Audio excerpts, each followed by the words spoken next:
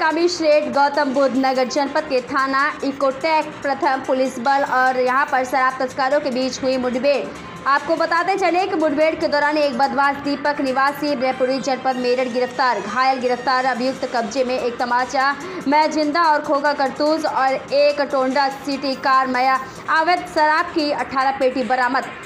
घायल बदमाश को उपचार हेतु तो जिला अस्पताल में भेजा गया और वहीं बता दें कि एक बदमाश अंधेरे का फ़ायदा उठाकर मौके से फरार फरार बदमाश की तलाश में कमिंग जारी। यहाँ पर गिरफ़्तार अभियुक्त पूर्व में थाना दादरी से भी शराब तस्कर के मामले में जेल जा चुका। लेटेस्ट न्यूज़ देखने के लिए प्राइम ब्रेकिंग न्यूज़ चैनल को सब्सक्राइब करना न भूलें और साथ ही डेली अपडेट्स पाने के लिए बेल आइकन को प्रेस